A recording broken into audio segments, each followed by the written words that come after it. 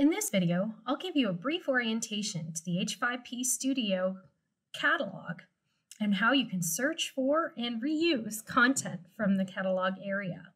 First, start by visiting h5pstudio.ecampusontario.ca.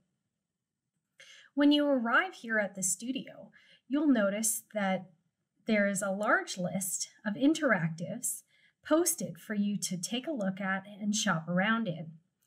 These interactives are sorted by recency, and so the topmost interactives are the ones that were posted just lately.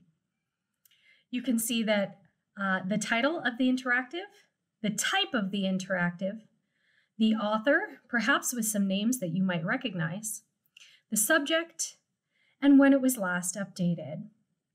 Many faculty are also choosing to associate licenses with their comment, with their content.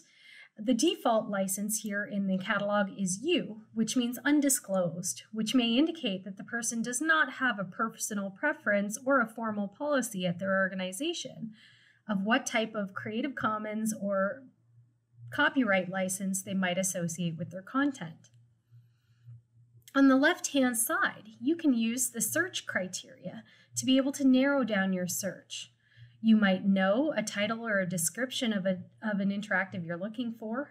You might be looking for a specific type of interaction, like flashcards, drag text, or image hotspots.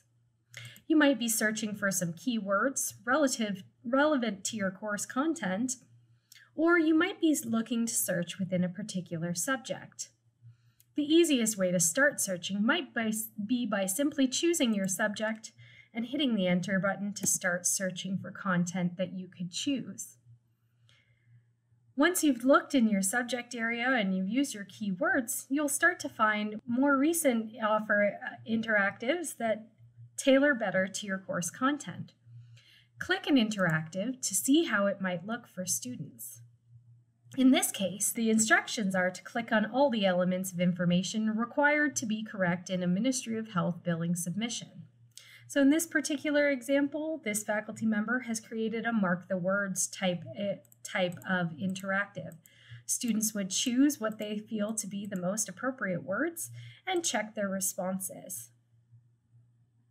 Alternatively, you can continue shopping back in the catalog for more content or more information. If you found something that you'd like, say for example, this general structure of an email accordion, you can perhaps reuse that content. In order to reuse any content or build your own content here in the H5P Studio, you'll need to register for an account.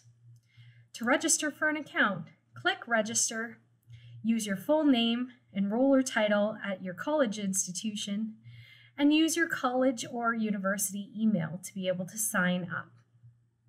If you experience any challenges during the registration process, you can email open at ecampusontario.ca for help.